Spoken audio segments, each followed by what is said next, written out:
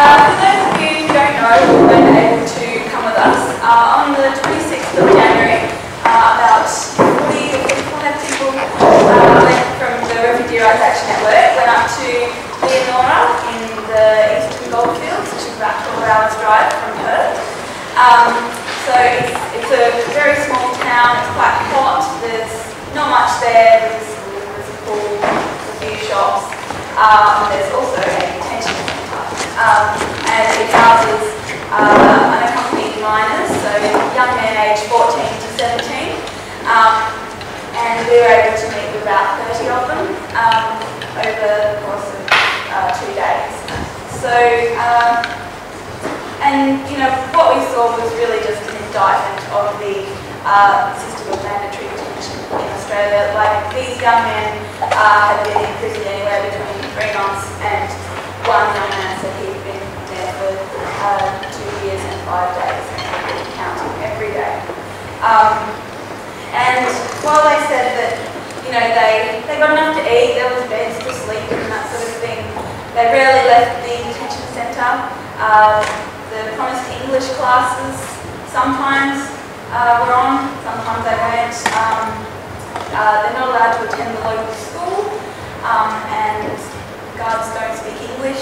Uh, the, the, guards don't speak their own languages, so it's very hard to communicate. Uh, there are, you know, uh, heaps of barriers in the way of these already, you know, traumatised young people, um, and uh, they're still locked up in mandatory detention. Um, so uh, Serco was, uh, as to be expected, was not helpful. Um, first they uh, told us that they had a, a big meeting with the, with the young men and they said they didn't want to meet us and they also didn't want the, the gifts that we brought them, Oh. which young people are known for, not wanting gifts. Um, and, you know, it was, it, it turned out to be sort of lie after lie um, on Serco's behalf. Um, and, uh, yeah, so we, we tackled this, we applied to uh, visit with them and we were able to. So we, as I said, we visited about 30 of them. And yeah, one, one young man described being in mandatory detention as um, like going into a tunnel of no light, which um, really is quite upsetting to hear. So, um, you know, this, this all sort of yeah, reinforces the uh, absolute needless cruelty of the system. Um, so, unlike other advocacy groups, uh, the main thing for RRAN is that we are uh, first and foremost a political activist group. So, uh, while other groups uh, will visit or provide legal support, we visit and we have members who help people with, you know, um, applications and such. But what we're about is, you know, going out to these centres, uh, you know, uh, demanding accountability and calling for an end to uh, a system that has no legitimacy, that the government of Australia has no right to uh, impose on people. Uh, and you know, I think it's a real indictment on the government that it's groups like RRAN and all the uh, associated refugee rights groups around Australia are the ones who expose the cruelties of the system, the ones who expose things like last year, uh, Indonesian children in adult prisons. They're the ones that expose things like uh, painkiller medication going missing, like people uh, you know, not getting the correct legal help, like a, a slew of absolute injustices that always fall to colours campaigners and people like Randers. Uh, and you know that's why we think that it's not uh, simply enough to let write or negotiate with So these are complementary things to the campaign that uh, once again we want to go to these centres and uh, show refugees that there are people who welcome in this country and there are people who oppose this system. And that's why uh, we will not stop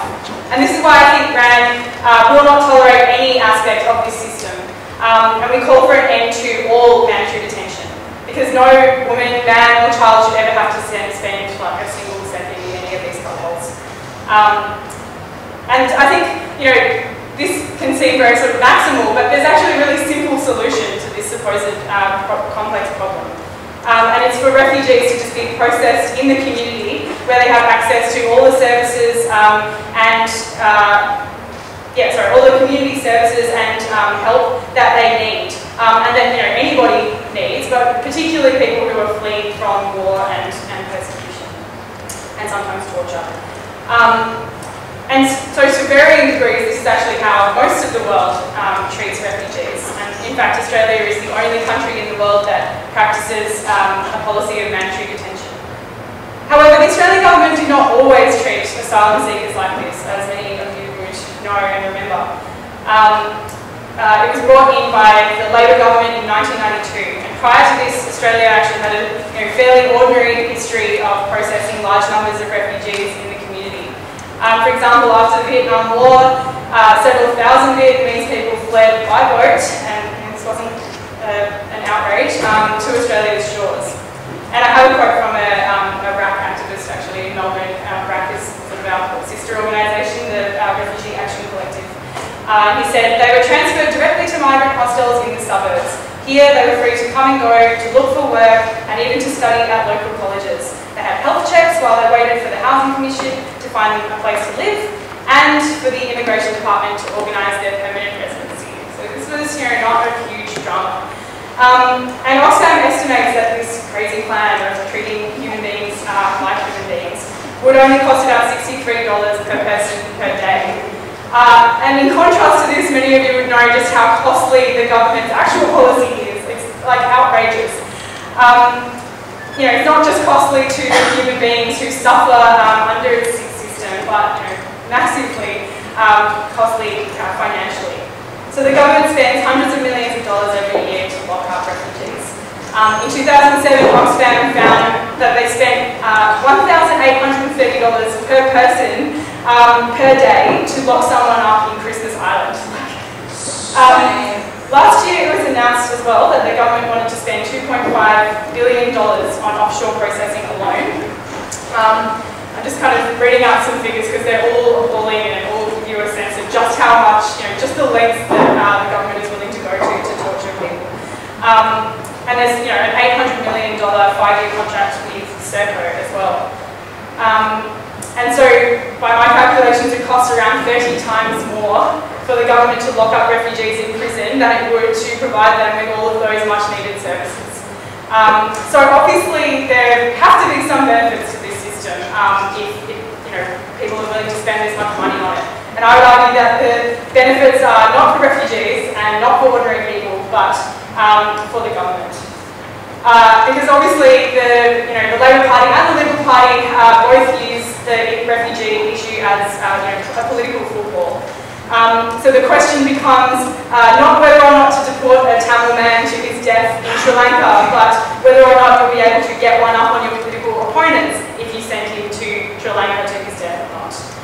Um, and I think broadly the usefulness of the policy is, is beyond just that kind of to and fro.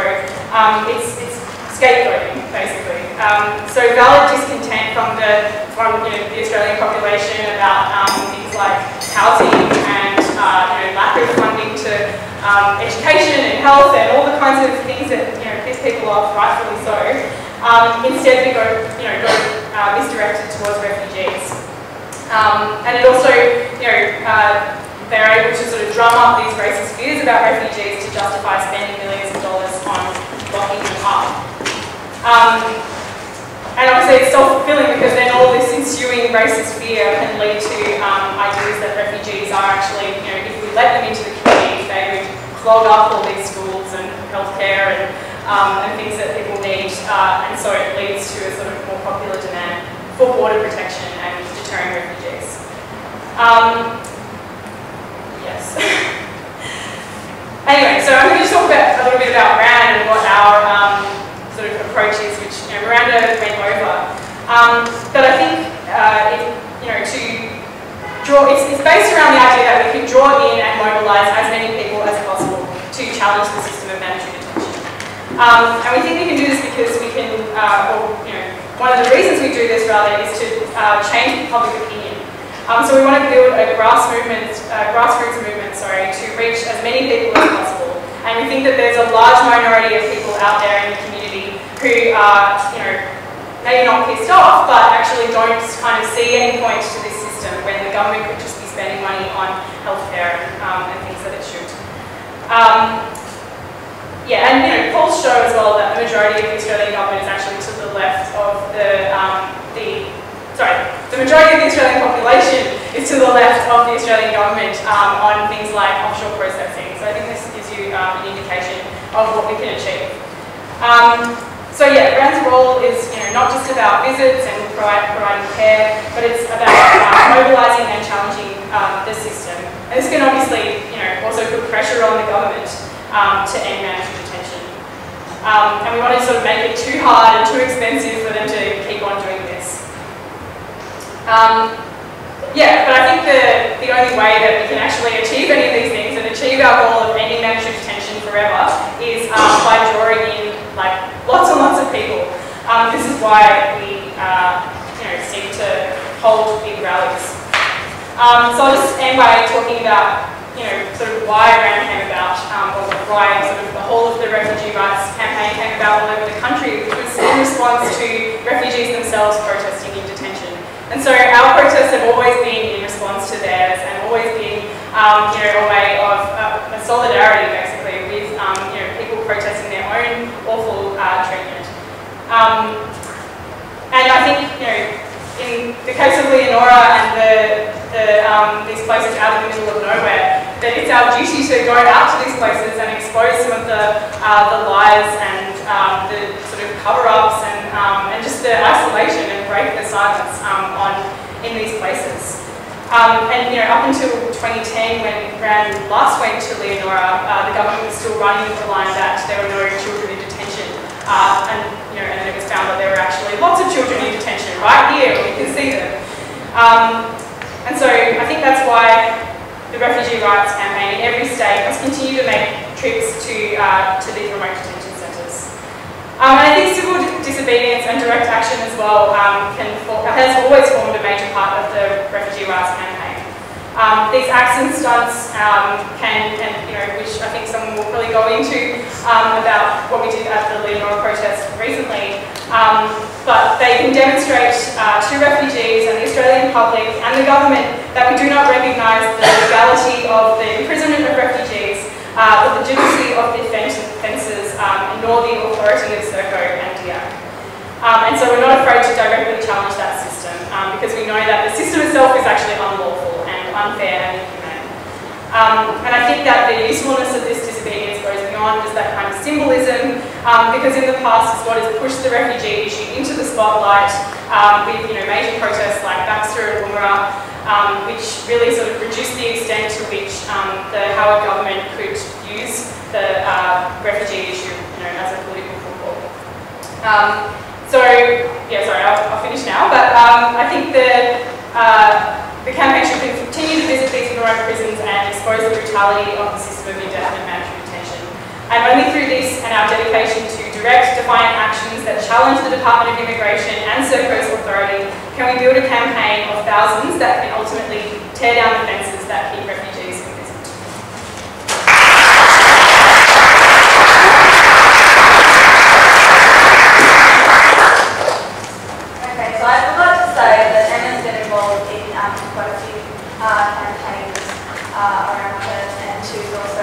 um,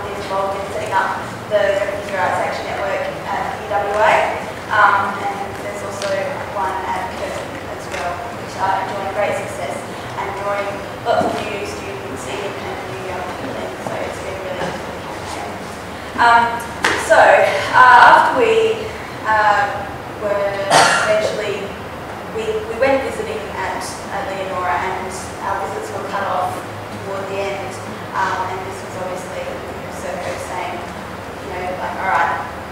there's many people, been finding out too much, you know, like we're seeing looking people like you. Um, and so, you know, this was, uh, you know, this made everyone quite angry. Um, and so a decision was made to, the last night were there, go back to the centre, uh, have a real uh, rousing um, protest there, and which culminated on uh, many of us uh, climbing up onto the fence to see the young man inside, uh, and quite a few people actually uh, to slap high fives. So uh, before they were herded in uh, to the sleeping quarters by Serco. Um, so all of this uh, is going to be revealed in um, a video of the trip. Um, and so it goes about 10 minutes. Uh, and then after that, we're going to have um, a couple of uh, people who are new to the campaign speak. So, yes, let's watch the video. Yeah, one, right, one over. Next one along too. One more window.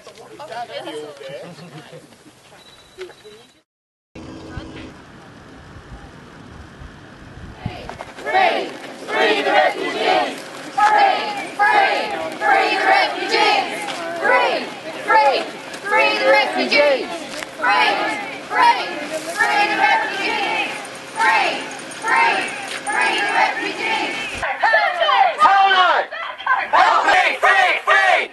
Free the refugees! Free! Free! Free!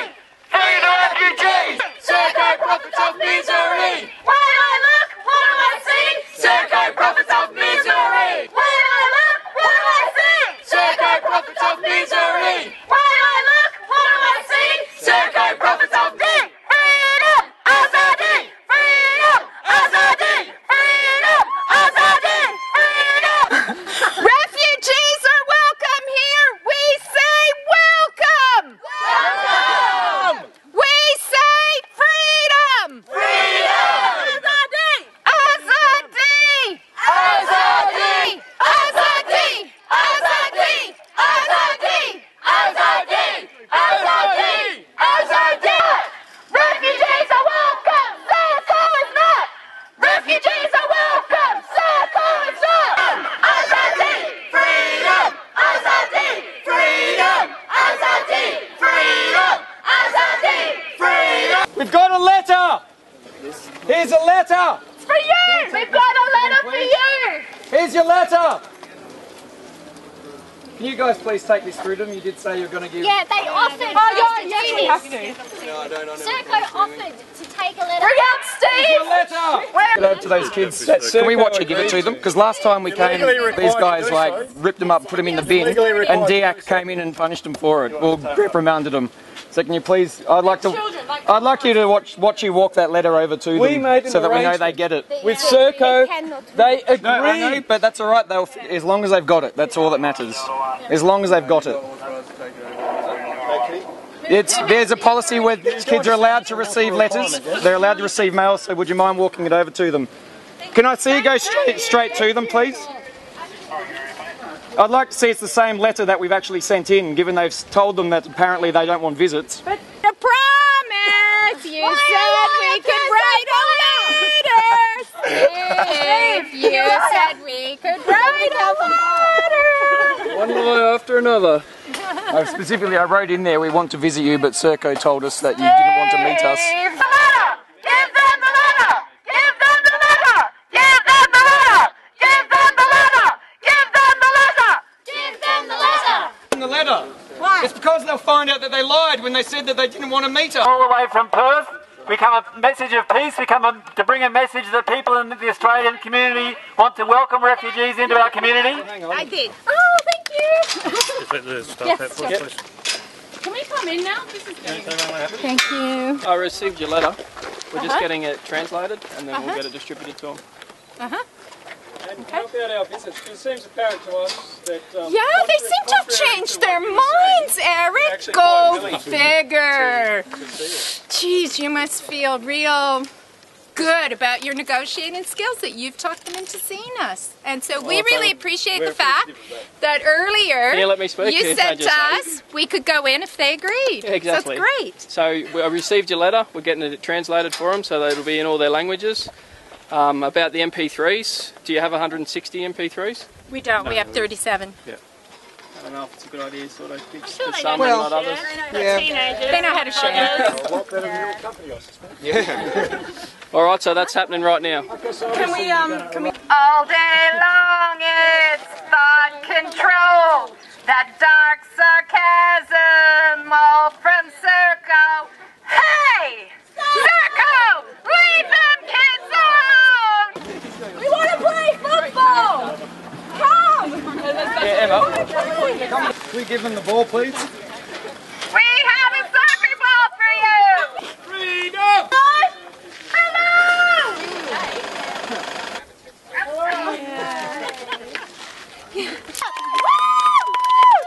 Thank you! Not you, thanks. Thank you! Oh, dear. Freedom! Azadi! Freedom! Azadi! Refugees are welcome here! Say it loud! Say it clear! Refugees are welcome here! Lock up, kill 'em! Throw away the keys! We won't stop till we free the refugees!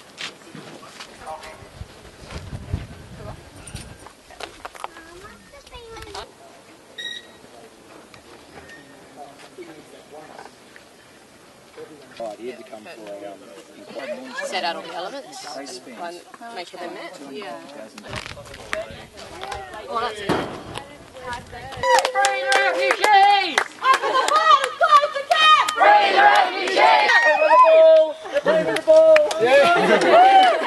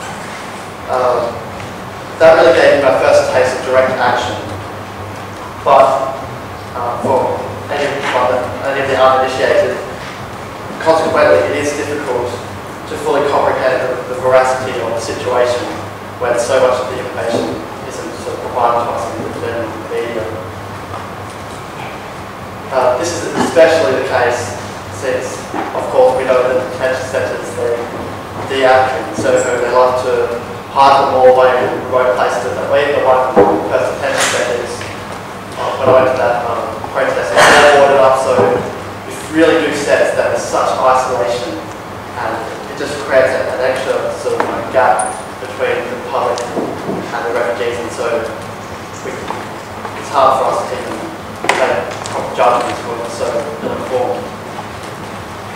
So to me, this is really the critical aspect of grassroots movements, how to engage with the public, and as I found RAD did with me. Uh, for this to occur, really, I had to be shown through my own eyes. I, I couldn't have anybody dictating me or telling me their own agenda opinions. And that's what I felt the Leonora trip truly did. It, it really opened my eyes. It was truly transformative. And I think this is even more paramount considering the misinformation distributed in mainstream media today. I would consider myself quite media savvy, but I was literally blown away when the complete, it's not even half that, the complete misrepresentation of uh, the, how centres operate. And just to give an example of one of Tony Abbott's uh, ideas, um, which is that the race was that the, the refugees are literally living in five-star accommodation. And that, I guess you take a piece of and okay, that, there's maybe some validity in that from an outside objective. And so if that's the main information that the majority of Australians are on, then no wonder that the whole debate is so skewed when it just shows complete misrepresentation to the point of lying. And that's one of the things that really struck me when I first went out to Leonora. I see that the 40 degree heat, day after day, this confined compound. And yeah, the first, well, the first day that we went on the protest there, I had to, to see the kids waving back, not just behind um, one set of fence, but there was two separated fences that you saw on the video that an extra medium prevent us from interacting and communicating. And then I literally had to take a moment to step back and just compose myself because I was starting to tear up.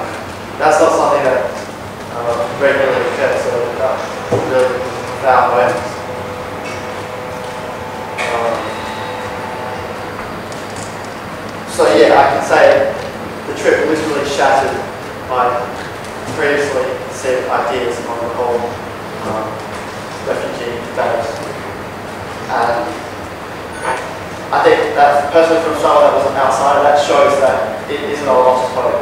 that we can truly change the public opinion because I went from going where I sort of, I won't say I agree with the policy, but uh, at least the scam campaign, I thought had, must be some validity behind what they're saying they're illegal or whatever. That's a whole other issue. But to show that someone from can completely change their opinion shows that this isn't a, lost fight. That There, is hope for these people in the long run. So in relation to the um, Leonora trip itself, basically I hadn't really been active so much directly and I saw the Facebook event going around, yeah, this could be fun, going on a road trip, catch up with mates. No, I'm just kidding. Um, but yeah, I think this is what really appealed to me was this direct action that, as I spoke of previously, I felt that it's my duty and also a right as a citizen of this country to inspect and to physically observe how and scrutinise how these systems are playing out. And I've always been one where I guess I've taken the faith of the government or to a some sense. And then when I saw first-hand accounts, it's not where you can sort of say, oh, that might not have happened through a third person's account. This is my direct account. I saw it for myself. And these are just kids that, uh, under different circumstances, I could be in their situation. And that's what really struck home to me. That's what really made me sort of wake up. As I said, it was, transformative. So the first day's um, interaction with refugees, that was really paramount for me. Um, what I found funny was like, there was such an engulfing mass of security personnel, both police and Serco guards. And it's like a, small group of citizens, and a handful kids, basically, and seriously, I, I think sometimes we need to sort of reflect on how um, obscure the, the debate has really become, and that is how we're approaching the situation. So as I said, that this debate is really, I think, through the misrepresentation of uh, information, is really sort of a, sort of gone off from what the be around. These are human beings, and so I object on both moral, ethical, and legal grounds that just the inhumanity seeing kids or even adults being locked up indefinitely, some for over a year. And then when I personally spoke to them, I found out that they're barely getting any um, education. And if you've been locked up there for a year and you can't even speak English, then what's going on? That's that's one of the issues that I think is just outrageous that if they're eventually going to be coming into our country, which they should be, and becoming part of our society, then what are they doing this time? Should they be trained up? That's like a whole other argument we can take to more on the monetary side. Um,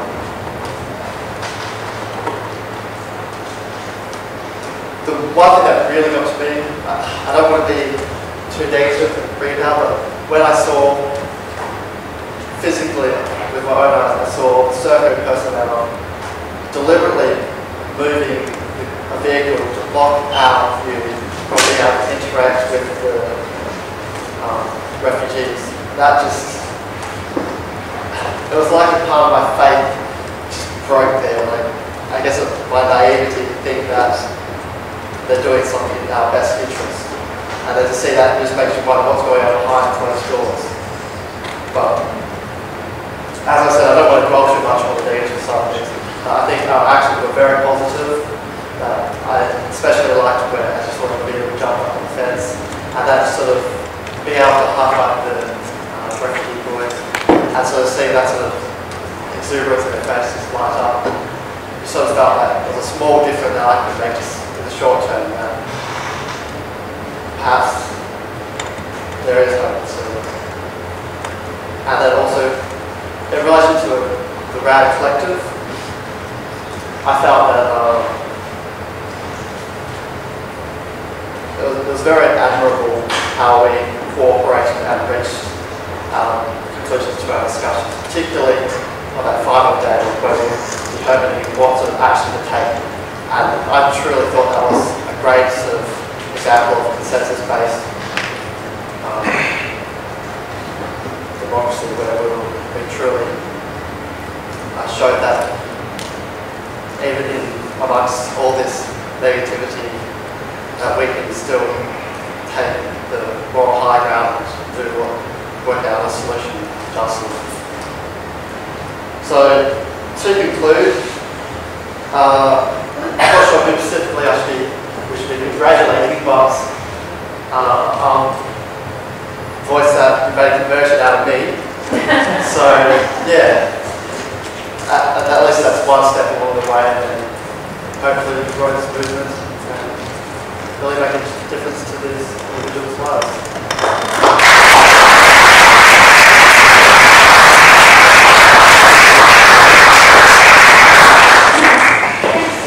Um, I think, yeah, on that point, I think we can congratulate ourselves, but I, I would congratulate um, the guys inside who, uh, you know, after being told that uh, you know, we weren't a friendly group, and Serco did tell them. I keep remembering all these little injustices that keep popping up as people are speaking. But um, uh, as uh, um, yeah, they found out, they were told we weren't a friendly group, um, and after they met the first group of us who went in, um, you know, they, they started doing all these little things like gesturing to go to the toilet to bring in another young guy who spoke English so that he could translate for them. And, you know, all these little things like notioning that the Serco's taking notes, you know, so that we could be aware of these things. Like, it's all these little acts of resistance uh, that, you know, really, uh, you know, I think we should uh, congratulate uh. So, um, yeah. Um, so, um, next speaker is Emma, who um, is also new to the campaign. Emma's been active in the Occupy movement and uh, was also uh, first time for road trips. So, I'll let her speak. Um, hi guys. Um, okay, I'm a bit sick at the moment, so apologies. Um, I did write a speech, but since I've been asked to talk about my personal experience, um, being a newbie and someone who hasn't been to a detention centre before this, um, I think I'll just brief notes. Um, so I guess this is from a more personal perspective, um, just a personal account. Um, this is my little.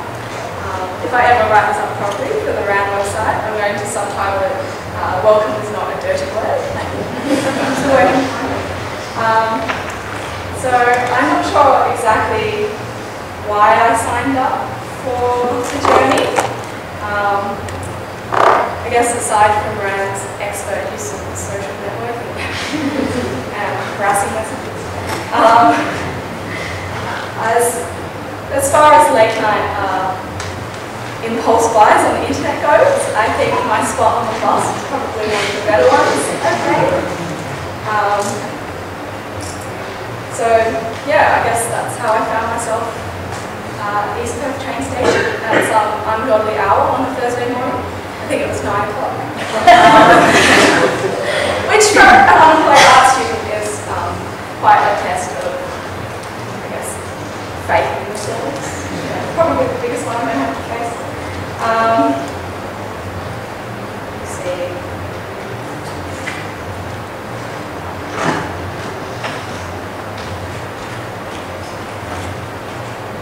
I guess the next thing was the, the bus ride. It was very, very long, eight hours. Uh, I got on the bus with my backpack and my soccer ball.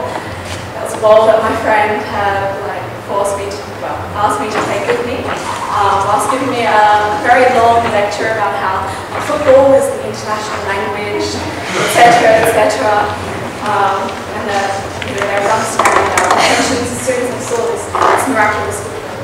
Um, so yeah, I had to spend my time on the bus sleeping pretty much. Um, so that made, made the journey really quickly.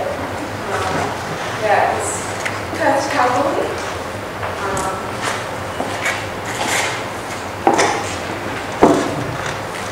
Um, I'm just gonna, I'm gonna pray for my, my speech. Um, so that night after setting up camp and feasting both on delicious pasta and also the breathtaking panoramic surrounds of the Kalgoorlie caravan park, we gathered to talk about our plans and expectations for the following day. I must admit, a few doubts and questions had been flitting about my head, mostly around the effect that the convergence has on the detainees, in both the short and long term. I needed to be sure that it would be a positive experience for the refugees and not just for our own benefits, whether personal or political. Could it even be worse to go with welcoming messages to give them some hope and support, only to go away again, leaving them there indefinitely, situation unchanged? I didn't want to voice these concerns at first, not wanting to play the ignorant detractor. Uh, but the meeting that first night went a long way towards addressing those questions. Uh, the stories of people getting in contact after being released from detention to express their gratitude to RRAN for showing empathy and fighting on their behalf. The stories of information on the conditions and abuses they suffered whilst in the detention system, smuggled out in secret letters. Stories of the hope restored to people in detention. To know that they are welcome in Australia. These stories from the RRAN elders showed, showed the undeniable good done by these visits. The next day we got into Leonora and McKay and set up camp at a local airport. Um, incidentally, we managed to kidnap a couple of local were sitting out on their being grounded at home. Um, and we joined the up. we made our first journey down the very long, hot and dusty road to the detention centre. Um, I had seen photographs of the centre the night before, um, so I did expect the endless red dirt and the sea of ugly beige mountains and the, the oppressive heat. And I also expected the intimidating fences surrounding the compound. But I guess what I didn't expect was the rush of claustrophobia um, that I felt when standing right there, seeing it firsthand. Um, yeah, it's, it's a prison. I guess it just, it really hit me then.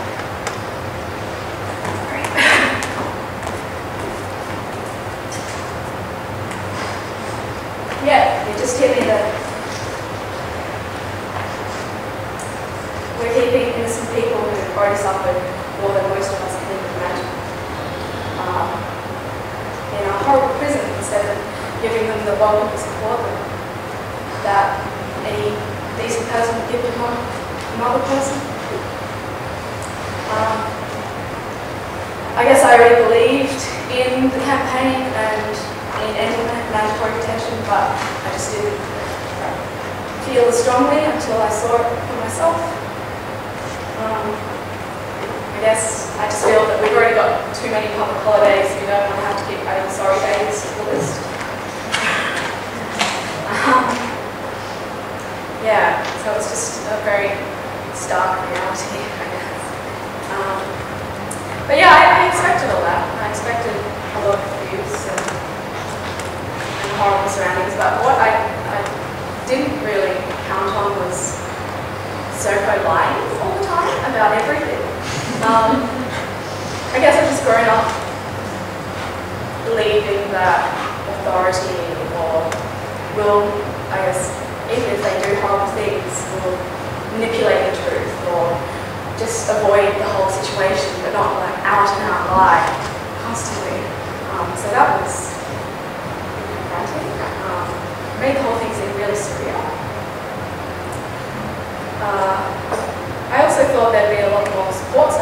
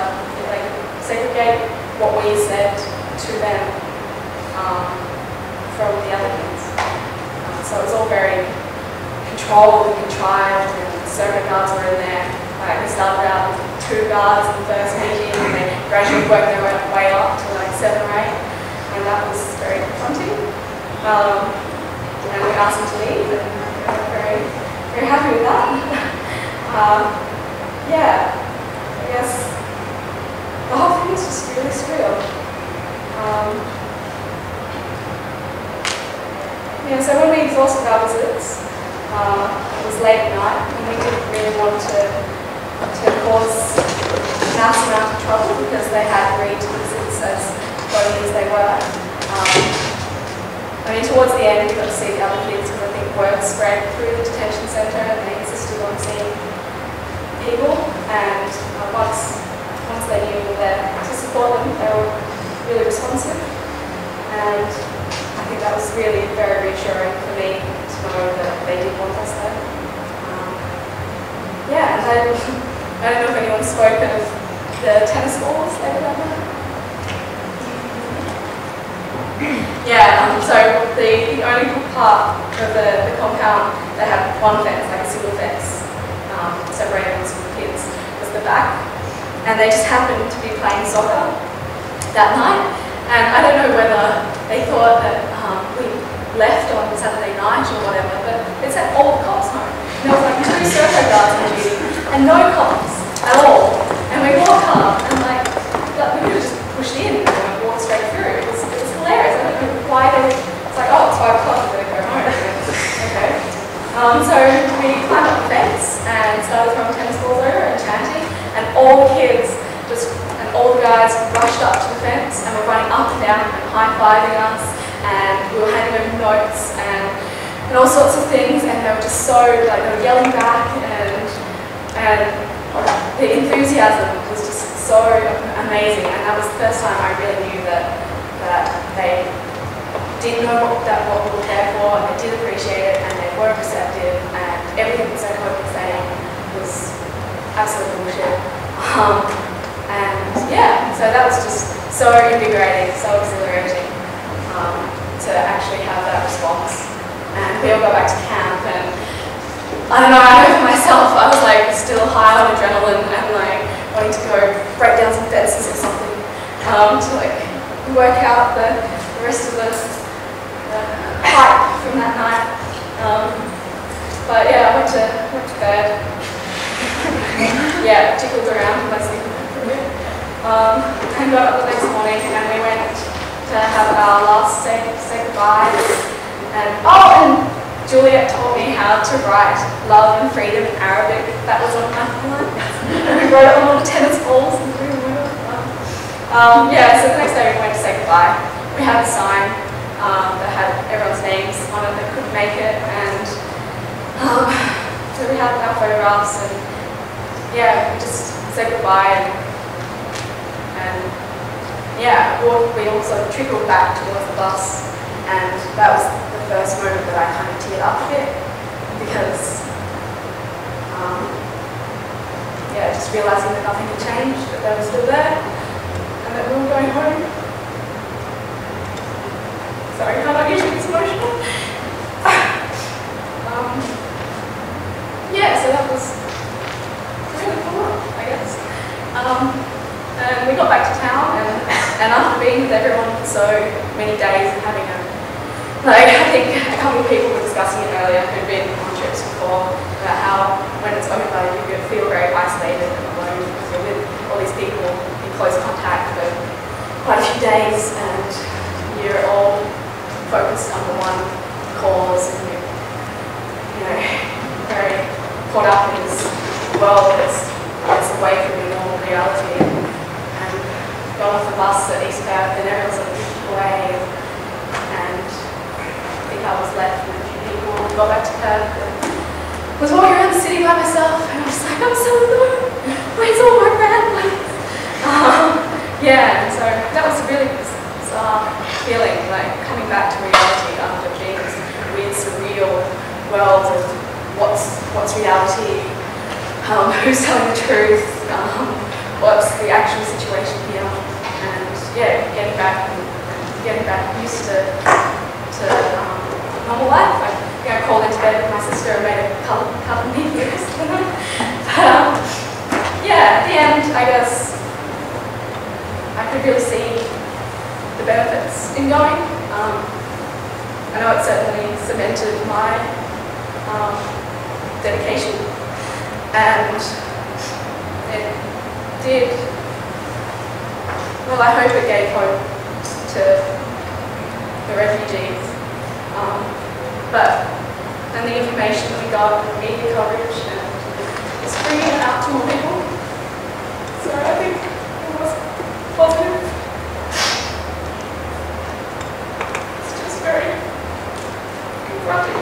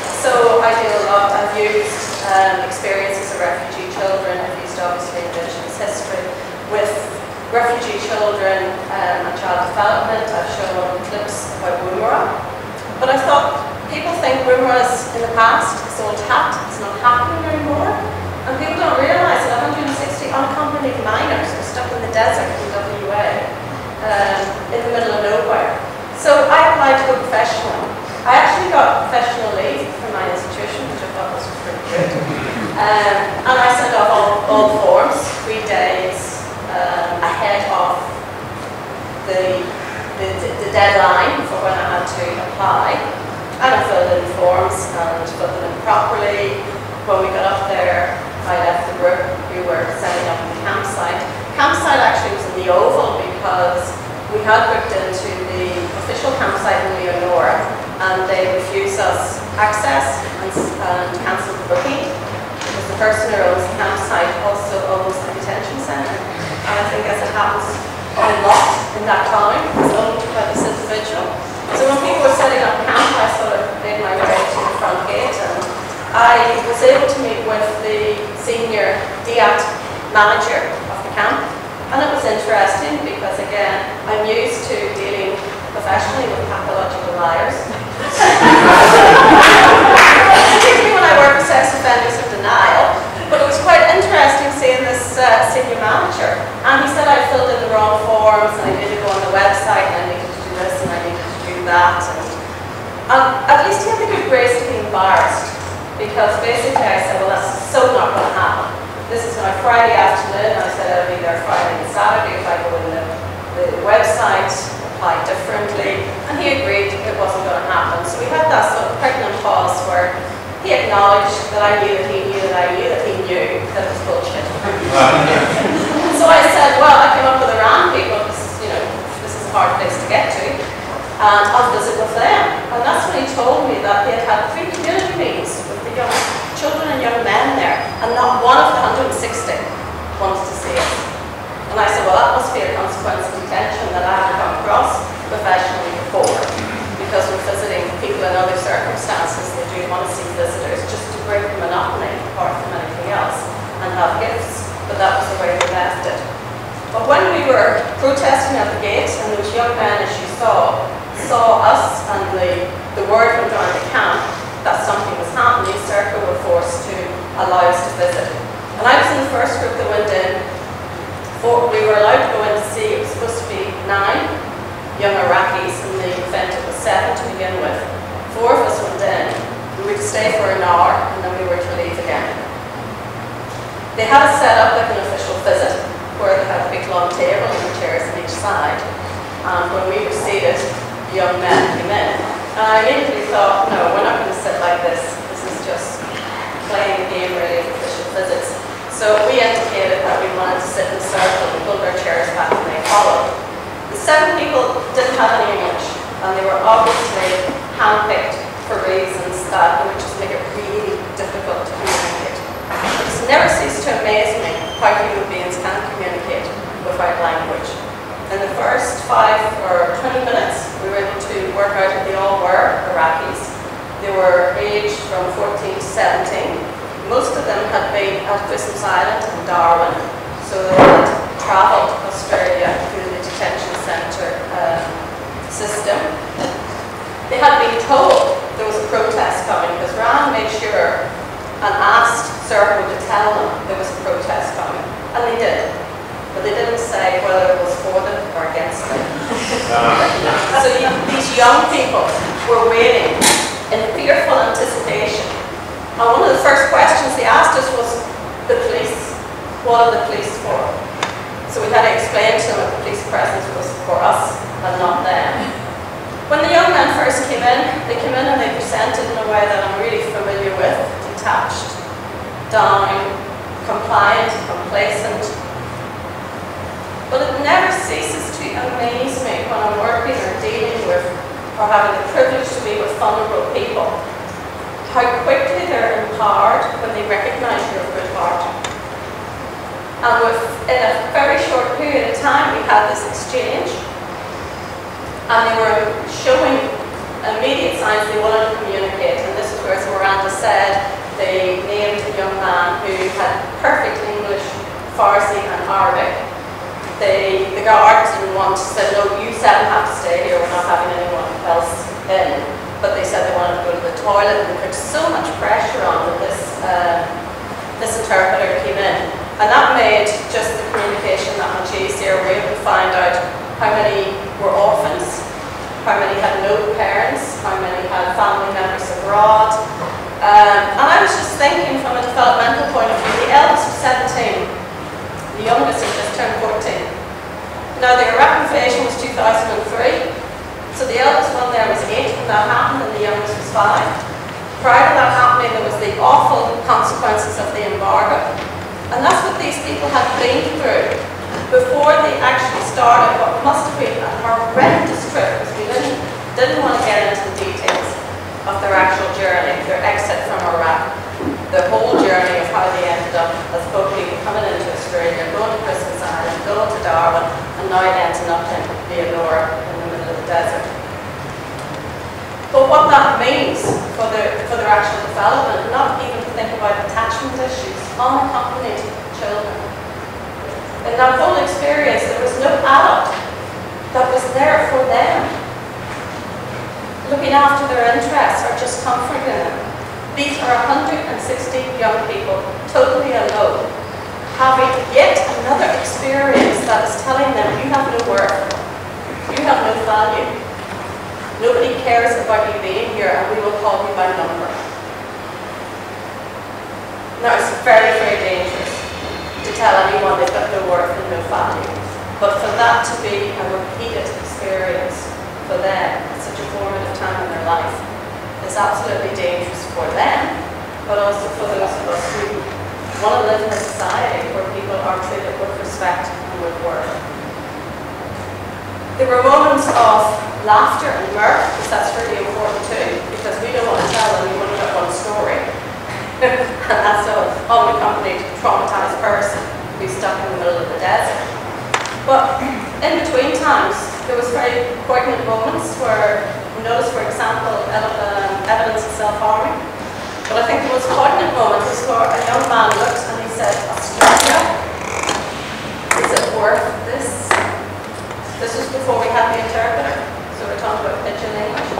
And from his demeanour and the way he spoke, I took what he meant was, is it worth struggling to try and stay alive? Is there hope? And it made me think about how I use this when I'm teaching. About brain development.